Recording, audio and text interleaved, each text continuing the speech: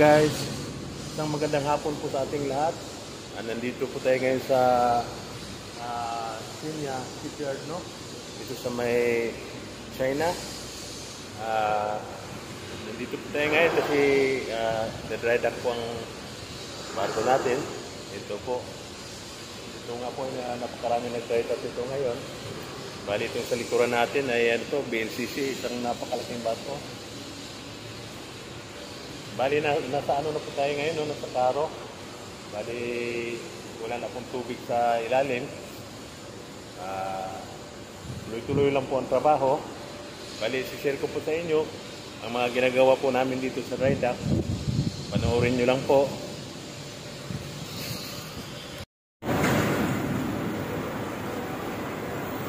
Ito po yung Sinya Dockyard.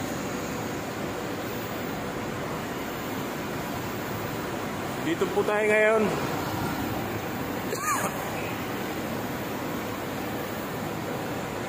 Nagda-dry dock po kami ngayon dito. Excuse me. Uulan na po. Medyo nakasimangot ang uh, panahon. Medyo maambon na ng konti po.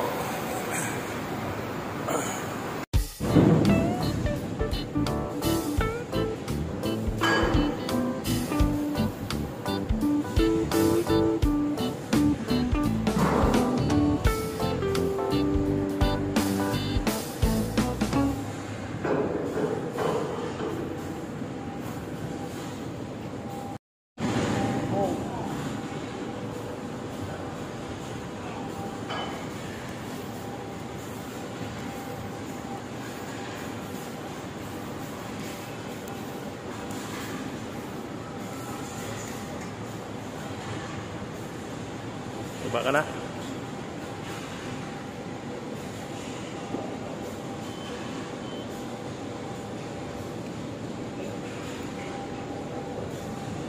Ah.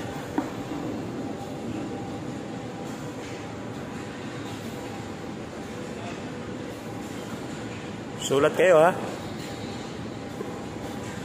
Naiwan ba yung telephone number nyo? Bato, Ha? malakasan. Ang pamalakasan.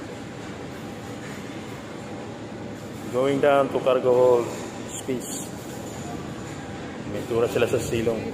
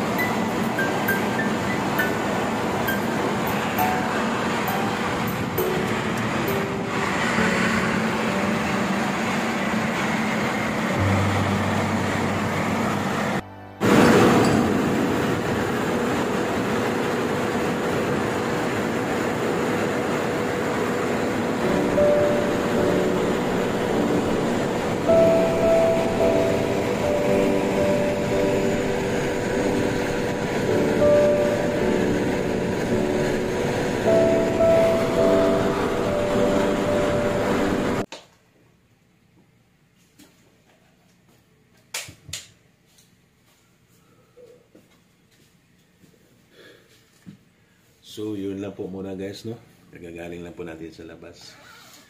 At nasishare ko na po sa inyo ang mga iba't ibang activities namin dito sa barko, dito sa ride At sa sunod na po yung iba. Thank you for watching guys. At huwag niyo kong kalimutan i-like and share po ang aking video. At paki-subscribe na rin po ang aking channel, Gino Vlog. At pakihit na rin po ang notification bell para updated po kayo sa aking mga bagong video. Thank you for watching and God bless us all.